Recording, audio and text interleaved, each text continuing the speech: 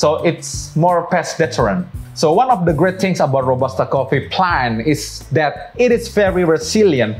It is grown at low altitude and it is resistant to pests and disease. Many people ask this, what's better, Robusta or Arabica?